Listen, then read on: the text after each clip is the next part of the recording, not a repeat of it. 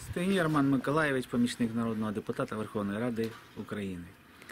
Знову в черговий раз ми приїжджаємо на сесію в Новосанжарський район. Зараз це Старосанжарська сільська рада. Немає сесії, голова опять запізнюється. Е, Люди поприїжджали і тепер порозходились. В черговий раз вони хочуть протягнути свої рішення без обговорення в громаді, без висвітлення питань, які я задавав неодноразово про державний бюджет, е, сільський бюджет, куди уходять кошти, як вони надходять, скільки е, рілі до квадратного метра. Цієї інформації я не отримав. І сподіваюся, що на понеділок, як вони було заявлено, сесія все-таки відбудеться, і ми задамо ці з громадою ці питання. Да, я Марусич Ніна Васильівна, депутат сільської ради.